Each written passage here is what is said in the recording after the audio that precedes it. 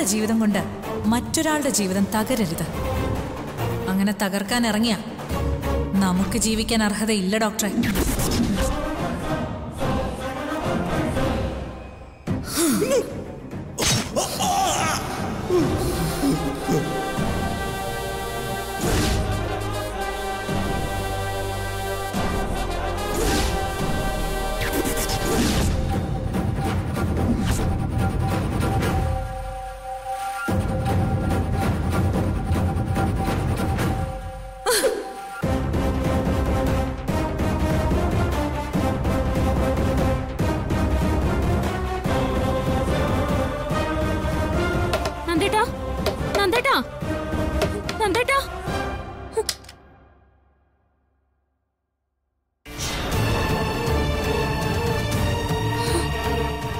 എന്താ അർച്ചന?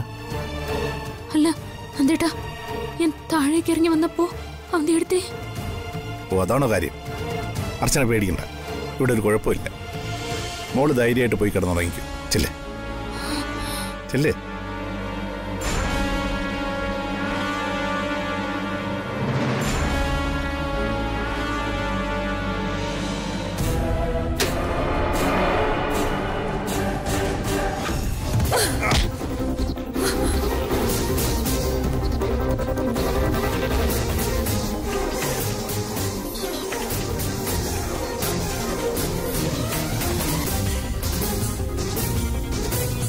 അവന്തിക രാത്രിയിൽ കത്തിയുമായി ഇതെങ്ങോട്ടാ? എന്നെ കൊല്ലാൻ നോക്കിയതാണോ? ഏ? ഇതുവരെയുള്ള എല്ലാ മൂമെന്റ്സും കറക്റ്റായിരുന്നു. പിന്നെ പാളിപ്പോയത് എന്താന്ന് വെച്ചാൽ ഞാനേ ഉറങ്ങിയില്ലായിരുന്നു. അതുപോലെ കിടന്നതേ ഉള്ളൂ. എനിക്കറിയാലോ അവന്തിക ഇതുപോലെ എന്തെങ്കിലുമൊക്കെ കാണിക്കുമെന്ന്. പക്ഷേ ഇന്നലെയാണ് ഞാനിത് പ്രതീക്ഷിച്ചത്.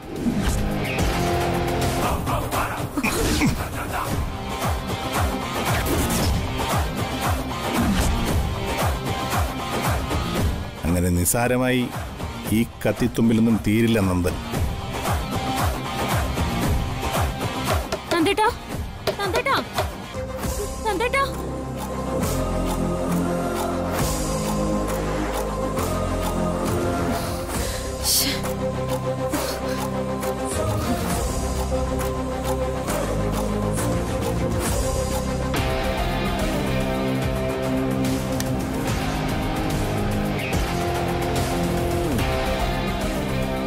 ഒരു കാര്യം ചെയ്യുമ്പോൾ പ്രത്യേകിച്ച് ഒരാളെ കൊല്ലാൻ രഹസ്യമായിട്ട് ഇറങ്ങുമ്പോൾ ആരെങ്കിലും നമ്മളെ കാണുന്നുണ്ടോന്ന് ചുറ്റും നോക്കി മനസ്സിലാക്കാൻ പറ്റാത്ത നീയാണോടി എന്നെ കൊല്ലുന്നത്? നീ കത്തിയെടുത്ത് വരുന്നത് കണ്ടിട്ടാ അർച്ചന ഇപ്പൊ ഇവിടെ വന്ന് എന്നെ വിളിച്ചത്. നിനക്കിപ്പോഴും ഒന്നും അറിയത്തില്ല അവന്തികെ നിന്റെ പുറകെ ആരൊക്കെ ഉണ്ടെന്നും നീ അറിയാതെ നിന്നെ ആരൊക്കെ വാച്ച് ചെയ്യുന്നുണ്ടെന്നും നിനക്കൊരിക്കലും മനസ്സിലാക്കാൻ പറ്റത്തില്ല. എനിക്കെന്തെങ്കിലും പറ്റിയാൽ എല്ലാ സത്യവും അറിയുന്ന സന്ധ്യയും അർച്ചനയും എല്ലാവരോടും പറയും എനിക്കെന്താ സംഭവിച്ചതെന്ന്? അതുകൊണ്ട് ഇതുപോലുള്ള മണ്ടത്തരങ്ങൾ കാണിക്കരുത്. അല്ലെങ്കിലും എന്നെ കൊല്ലാൻ മാത്രം നീ വളർന്നിട്ടില്ല. കയ്യും കാലും കെട്ടിയിട്ട അവസ്ഥയിലായിരുന്നെങ്കിൽ നിനക്ക് എളുപ്പത്തിൽ അതാകായിരുന്നു.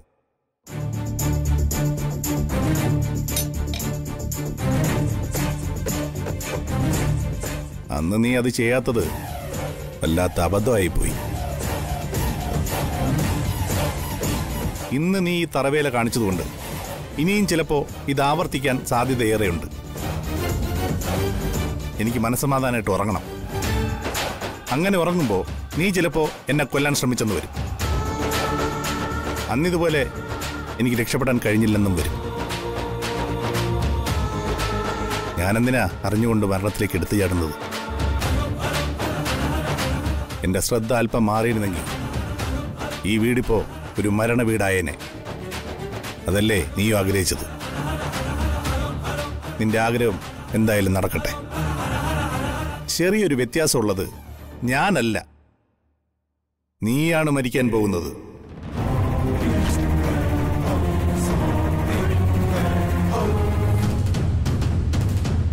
മുമ്പെന്തോ ഞാൻ ചെയ്യാനിരുന്ന ആ സൽക്കർമ്മം ഇപ്പൊ ഇവിടെ വെച്ച് ചെയ്യാൻ പോവാ. അവന്തിക എന്ന രാക്ഷസ ജന്മത്തിനെ അവസാനിപ്പിക്കാൻ പോവാ. ഇപ്പോ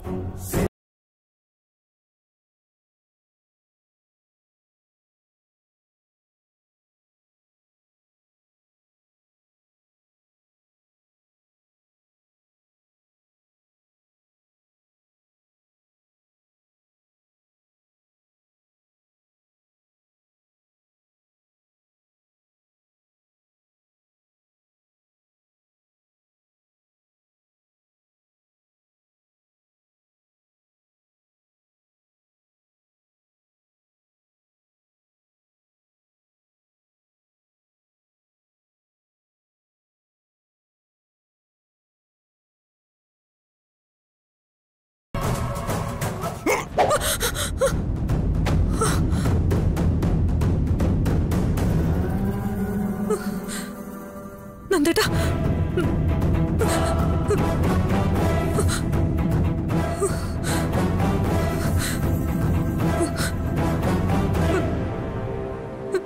വേണ്ട.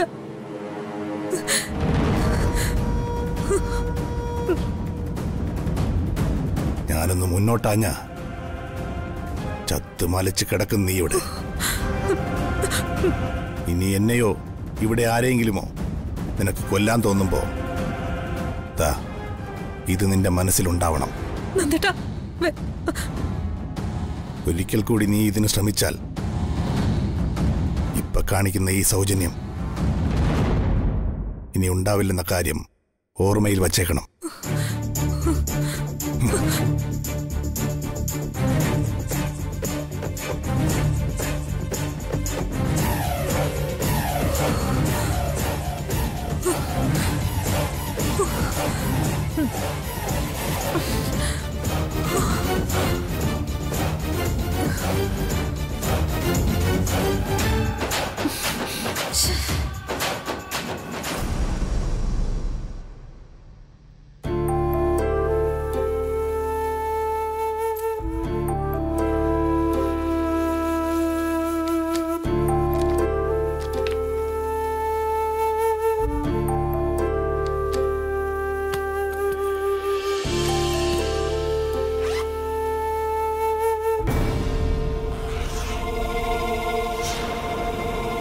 എന്റെ ഈശ്വര. ആഭരണത്തിന്റെ കാര്യം സച്ചേട്ടൻ മറന്നുപോയി കാണണേ.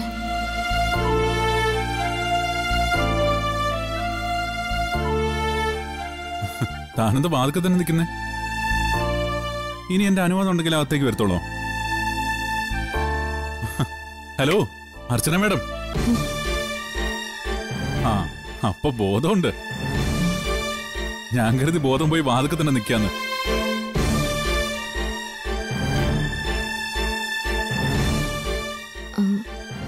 സച്ചേട്ടൻ ഇന്ന് ഓഫീസിൽ നിന്ന് എപ്പോൾ ഇറങ്ങും? എന്താ? തനിക്ക് എന്തെങ്കിലും ആവശ്യമുണ്ടോ? എന്താ പുറത്തുവല്ലോ പോണോ? പുറത്തൊന്ന് പോണായിരുന്നു. എങ്കിലേ ഞാൻ നേരത്തെ വരാം. എന്നിട്ട് നമുക്ക് ഒരുമിച്ച് പോവാം. അയ്യോ അത് വേണ്ട?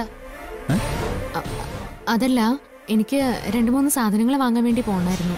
ഞാൻ തന്നെ പൊയ്ക്കോളാം. ആ തന്റെ ഇഷ്ടം പോലെ. ആ എങ്കിൽ പിന്നെ അന്നത്തെ പോലെ ഉച്ചയ്ക്ക് ഓഫീസിലേക്ക് വാ. നമുക്ക് ഒരുമിച്ച് കഴിക്കാം. കുറേ ദിവസം ആയല്ലോ അങ്ങനെ ചോറൊക്കെ വാരി തന്നിട്ട്. അതിന് ഓഫീസിൽ പോണോ? ഇവിടെ ആയാലും പോരെ. അത് മതി. എവിടെ ആയാലും മതി. എന്നാലേ ഞാൻ പോയിട്ട് വരാം? പോയിട്ട് വരാം. എന്റെ ഈശ്വര കാത്തു.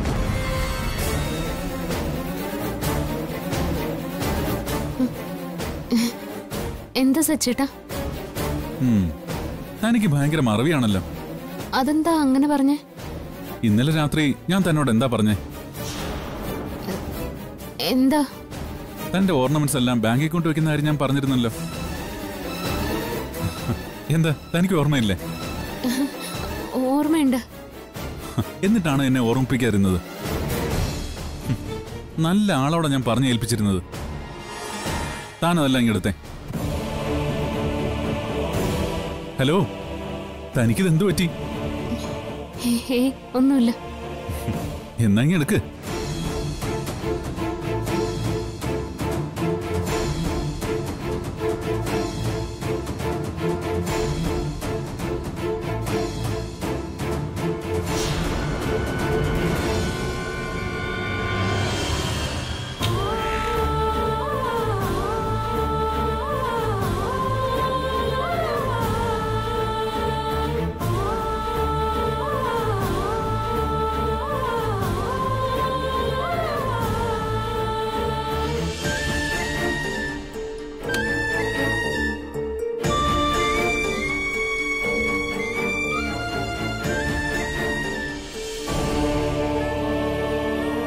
എത്ര രൂപയാണോ കൊടുക്കേണ്ടത്?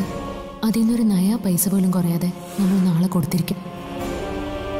ഇത് അർച്ചന എഴുത്തിക്ക് തരുന്ന വാക്ക.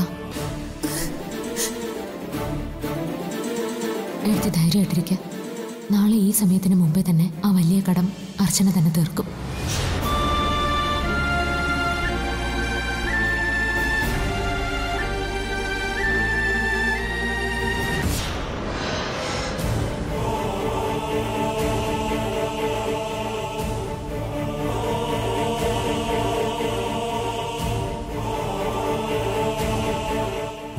തന്റെ മുഖം കണ്ടാ തോന്നും ഇത് ഞാൻ വിൽക്കാനോ പണയം വെക്കാനോ കൊണ്ടുപോകണമെന്ന്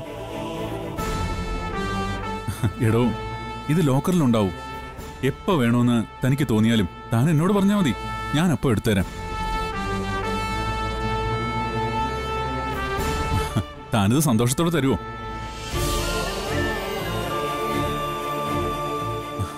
ബഹുഭൂരിപക്ഷം സ്ത്രീകൾക്കുള്ള അടിസ്ഥാന സ്വഭാവം തനിക്കുണ്ടല്ലോ. കയ്യിലിരിക്കുന്ന സ്വർണം മറ്റൊരാൾക്ക് കൊടുക്കുമ്പോഴുള്ള ഒരു വിഷമം.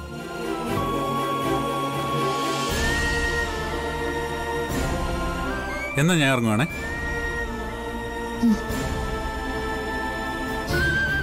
പോട്ടെ ആ. എടോ ഇതൊന്ന് പിടിച്ചേ.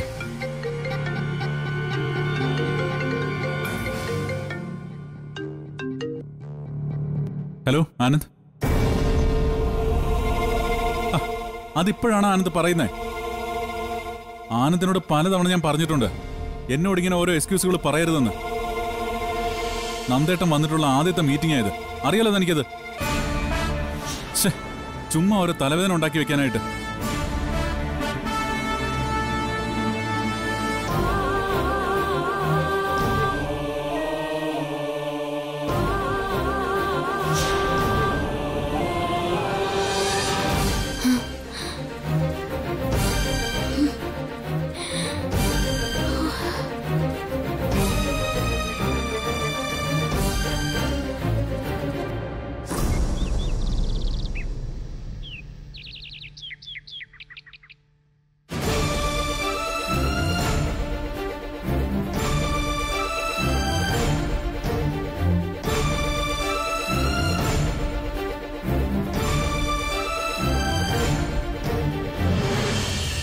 വീരെടുത്തി ആ.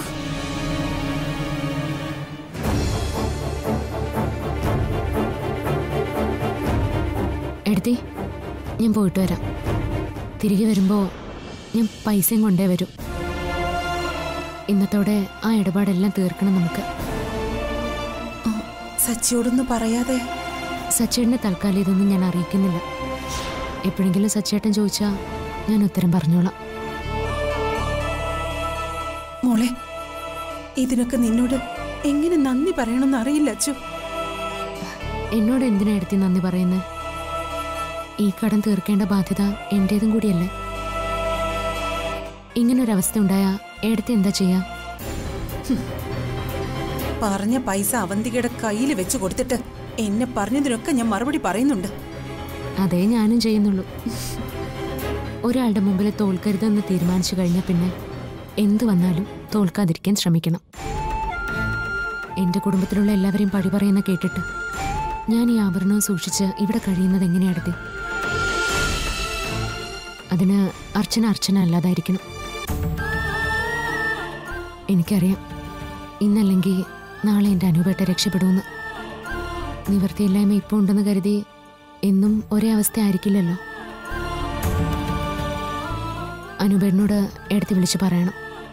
അവന്റെ അടുത്തേക്ക് കൊടുക്കാനുള്ള പൈസ കൊടുക്കാൻ വേറെ ആരുടെ മുമ്പിൽ ഇനി കൈ ആ ബാധ്യത ഈ അനിയത്തി തീർത്തുന്ന്.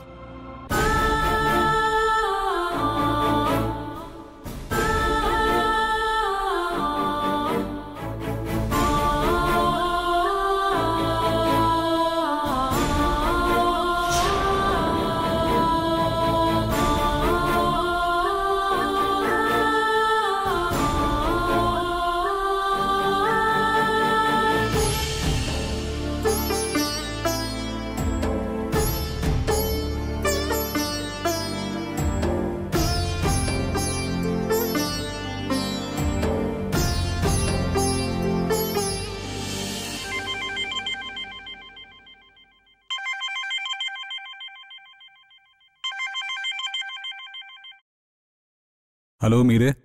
അനുപേട്ട അനുപേട്ടൻ അനുപേട്ടൻ ഇപ്പൊ എവിടെയാ? ഞാൻ വീട്ടിലുണ്ട്. വലിയൊരു സന്തോഷ വാർത്ത പറയാനാ ഞാനിപ്പോ വിളിച്ച്. ആ സന്തോഷ വാർത്തയോ? എന്താ? നമ്മുടെ വലിയൊരു ബാധ്യത ഇന്ന് തീരുന്ന ദിവസ. ഇനി സ്വസ്ഥമായി കുറച്ചു നാളെങ്കിലും അനുപേട്ടനെ നമുക്ക് ജീവിക്കാം. ബാധ്യത തീരുന്ന ദിവസോ? എന്ത് ബാധ്യത? ആ ഇത് അനുപേട്ടന്റെ കുഴപ്പം. ഒന്നും തലയിൽ നിൽക്കില്ല നീ കാര്യം തെളിച്ചു പറ മീരെ. ഏത് ബാധ്യതയുടെ കാര്യം നീ പറയുന്നത്? ആ ധനപാലൻ എന്ന് പറയുന്ന പലിശക്കാരൻ വീട്ടിൽ വന്ന് നമ്മളെ ഇറക്കി വിടാൻ നോക്കിയപ്പോ അന്ന് ആ അവന്തികയില്ലേ നമുക്ക് ഒൻപത് ലക്ഷം രൂപ തന്ന് സഹായിച്ചത്. ആ ബാധ്യതയുടെ കാര്യ ഞാൻ പറയുന്നത്.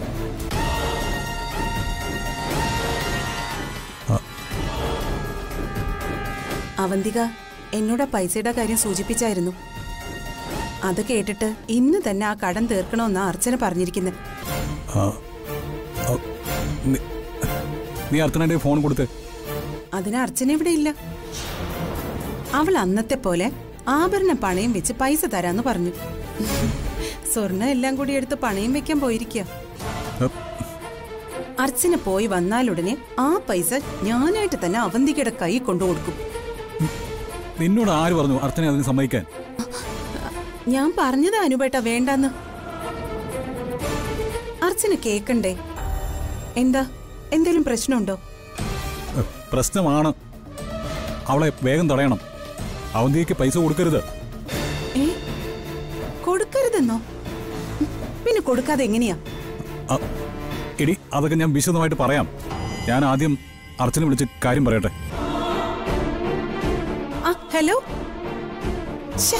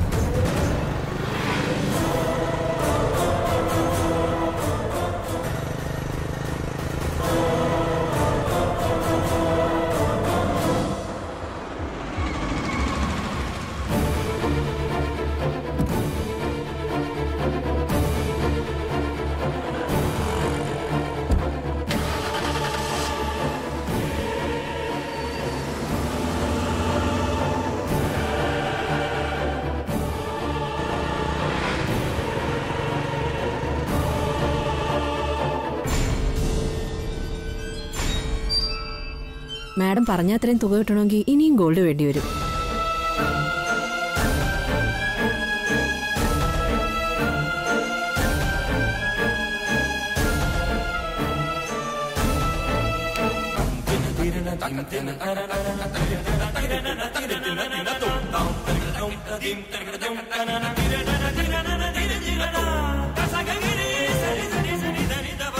Thank you.